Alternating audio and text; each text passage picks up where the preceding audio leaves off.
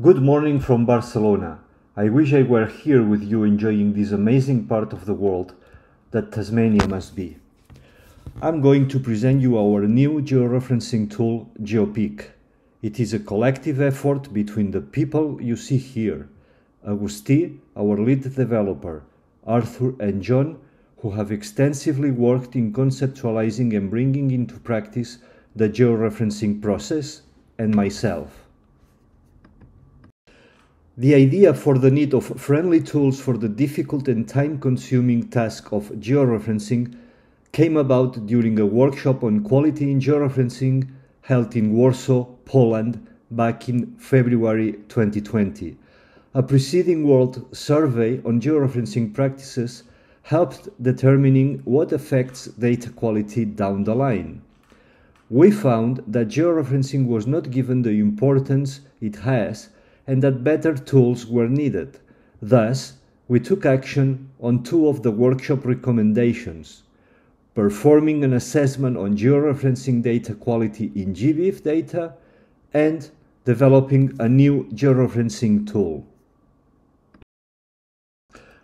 We did confirm the poor quality of georeference data held in GBIF with respect to documenting spatial uncertainty, which is crucial for rigorous ecological research. For instance, the modeled range size of Guazuma ulmifolia, a tree in the tropical Americas, can vary twofold when uncertainty is taken into account. Unfortunately, a low percentage of georeferenced specimens have information on spatial uncertainty and also not all ecological studies take this information into account when using this data. At last year's TDWG conference, we corroborated among colleagues from our community the need for a simple and standards based application. Thus, we decided to leverage our previous work with the Natural Muse Sciences Museum of Barcelona and start developing such a tool, which we named GeoPick. We will now watch a short demo of the tool so that you can have a feel of what it looks like and how it works.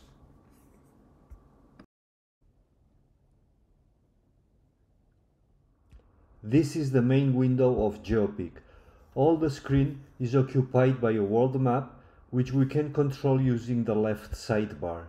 We have controls for layers, visibility, allowing us to choose between OpenStreetMap and Bing Maps layers. We have controls for zooming in and zooming out of the map. We have controls for digitizing line, polygon and point geometries controls for editing and deleting these geometries, and two extra controls for working with well-known text format and for entering point data via keyboard. On the top of the screen, we have a search bar with which we can search and import localities from OpenStreetMap data from around the world. On the right, we have a collapsible info box where the data and metadata from our georeferenced site will be displayed. It complies with Darwin Core format and can be easily exported as we will later see. The links to the corresponding Darwin Core fields are provided. Finally, at the bottom left corner, GeoPick offers information on the coordinates and the scale of the map. Let's now take a look at how to georeference a locality.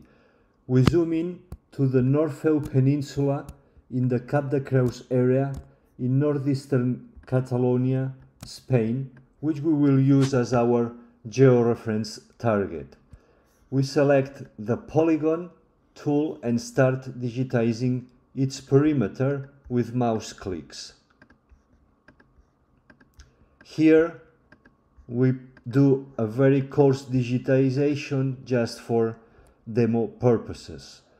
To finish the polygon, we click again on top of the first vertex.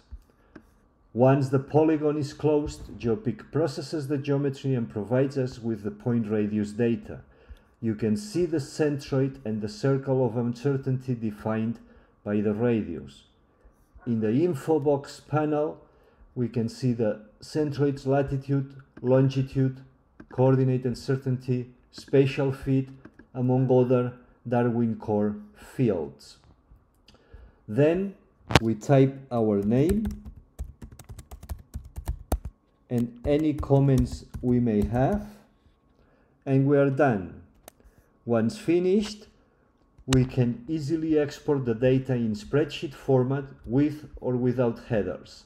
Since this represents our first export, we will copy the data with headers. We go to the spreadsheet and paste from the clipboard and there we have the georeferenced site in Darwin Core format.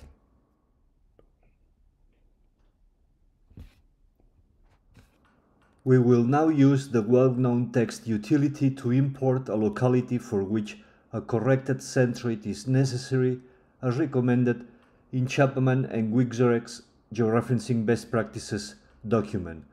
The locality is in the coast of Angola near Luanda and represents a segment of the Luanda River. We click on the WKT button, paste our location in this format click on the OK button and GeoPick processes it.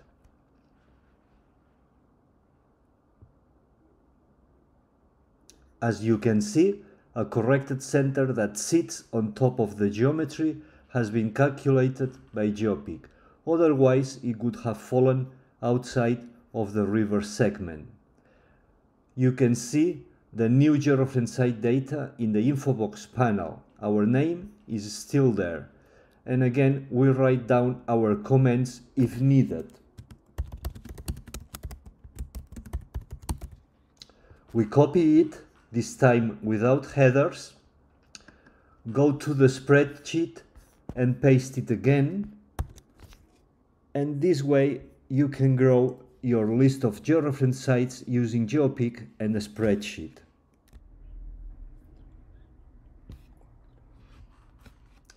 GeoPick also offers us the ability to easily capture geometries from OpenStreetMap data. Suppose we have a boobook owl collected in King Island in northwestern Tasmania. We can type the location in GeoPick search bar, choose it from the list, and GeoPick returns as the perimeter of the island. Now we just need to capture this geometry by clicking on the import button and GeoPick provides us with the georeferenced location with its centroid and its radius of uncertainty.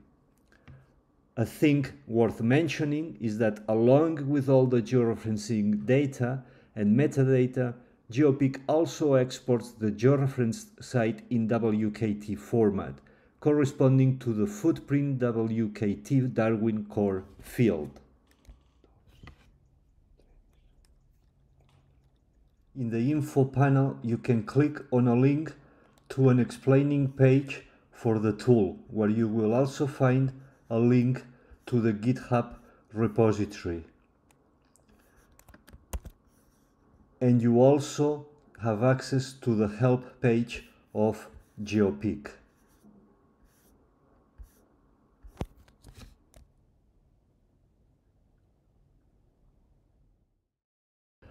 GeoPick is already accessible through the link on the left.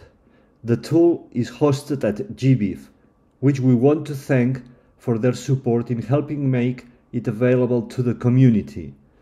The tool is open source and you can install your own instance if you wish.